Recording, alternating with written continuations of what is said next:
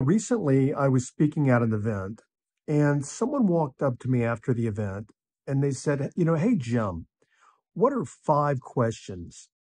Five questions that I could ask myself to get to know myself better, to get to know who I am. What they were really looking for is a deeper answer to who they are, and they meant at a core level.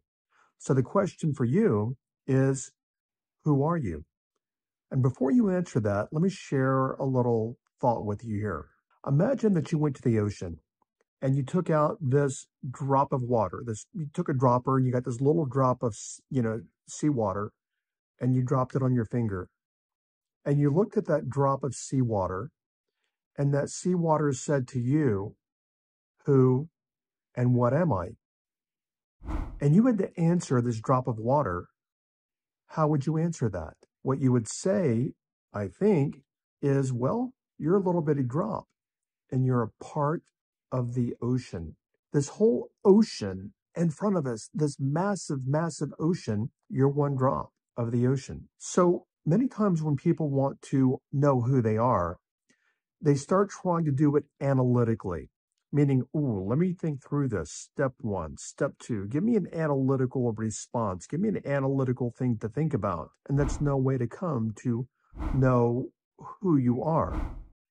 Because who you are like this little bitty drop of water is a reflection of the entire ocean. Albert Einstein's law of the conservation of energy and the law of the conservation of matter. Energy and matter cannot be destroyed, they only change form. You, right now, in your physical body, are both matter and non matter. You're also an electromagnetic, energetic being. You're entirely bioelectromagnetic and you're a being. And the question that I would ask you to start helping you find this answer for yourself who were you before you got here? Think about that. Who was I before I got here? When I say before I got here, I mean the planet Earth. Remember what I just said about Einstein. So you can never be destroyed. Your body can actually leave the planet, but you simply change form. So let's go back to the very beginning. The question is, well, originally somebody wanted to know five questions so they could know more about who they are. But let's go to the drop of water and then let's go to you being on the planet again because energy cannot be destroyed. It only changes form. So with the analogy I gave you of the ocean and you cannot change form, the question is, and you don't need to ask five other questions. The question I'm asking you, based upon what I shared, is who are you? Many people get their who and their what confused. Many times, if you ask someone who they are, they'll tell you what they are. And they'll tell you, well, I am Bob, or I am Susan, or I am Jim, or I am Indian, or Australian, or Mexican, or Chinese, or Russian, or whatever it is or I'm gay, or I'm a Christian, or I'm young, or I'm old, or tall, or whatever it is. But that's not who a person is. That's what they are. And what you are on this planet currently is a being having a human experience. Many people say also a spiritual being. I go beyond that. You're not just a spiritual being because even that's dogmatic. You are a cosmic being. And we can even take that back to the very beginning to the question of who and what you are. Who you are is a cosmic being. Anything else, any label, is just a human identification.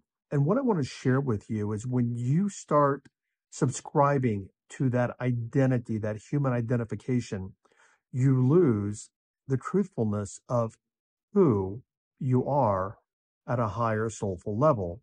And in that moment, you're giving up all of your power to the lower function of you and the lower part of you. So later today, or this evening, or tomorrow, whenever, think about this. The analogy I gave you about the ocean, and you apply that to yourself. Who am I? And who you are is literally like the little drop of salt water. You are a reflection of the universe.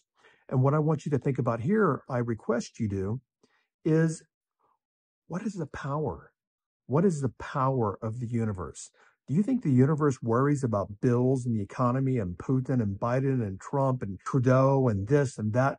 Think about that because you are a reflection of the universe.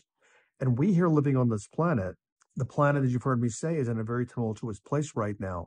And the planet needs people like me and people like you to bring higher awareness, higher involvement, higher light to the planet so that we can help humanity transform and we can all live in a better place. So the world needs you. So let's stay on this path together. That being said, I will catch you over on another video. Thanks for watching, and I'll see you later. Bye bye.